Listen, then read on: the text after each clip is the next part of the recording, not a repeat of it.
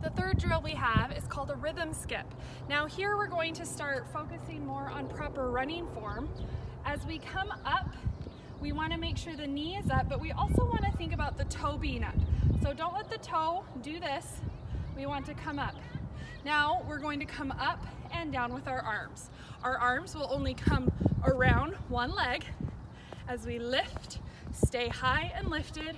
We go for about 25 meters and straight out the rest.